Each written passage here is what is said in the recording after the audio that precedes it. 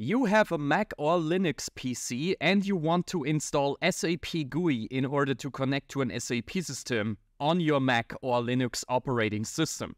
For example, you could have installed the ABAP platform trial to get familiar with SAP and learn how to interact with the system. In order to connect to that system on your Mac or Linux PC, you need SAP GUI. In our case, SAP GUI for Java. The link for the download is in the description of this video. You just download this um, uh, GUI for Java installer.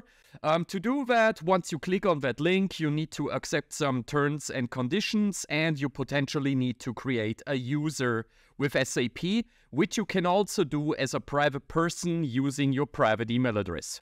I will catch you up in the next step once you downloaded GUI for Java, and then we will do the install. So now we are on our Linux machine and you have downloaded the rar file. You can extract that file nowadays with usual operating system tools and utilities. On our OpenSUSE Linux system, for example, I simply right click and I say extract here.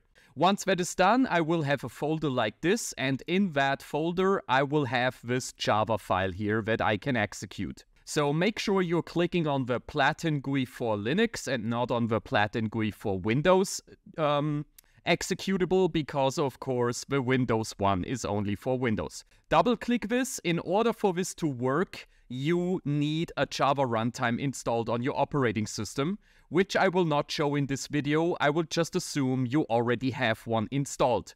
If this is indeed the first time installing Java on a PC for you, then feel free to temporarily search other videos on how to install a Java runtime on macOS or Linux. Once you double click that installer, it will just open up. It might take a while for you because it first needs to generate some files. And once that is done, you simply click next. This README for beginners is not very interesting, so you can also skip this one. Here you will define where to install it. You can just keep the default folder path that is suggested and then you click install. The installer will run and once that is done, you can simply close the installer.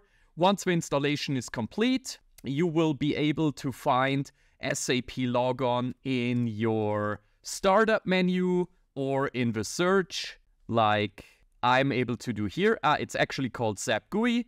You simply open that and then the SAP GUI for Java will open and now you can configure connections to a new system, for example, by clicking on this new button. And this basically works like or very similar to SAP Logon for Windows. So I will not dive deeper in this video on how to actually configure a connection. This YouTube channel has a lot of tutorial videos for beginners in the SAP space. If you want to install your own ABAP trial system, feel free to look for that video on this channel and I hopefully will see you in the other tutorial videos of this channel. If you don't want to miss new ones coming out, please give the channel a subscribe. Hopefully see you next time, have a good day and have fun with SAP GUI for Java. Bye bye.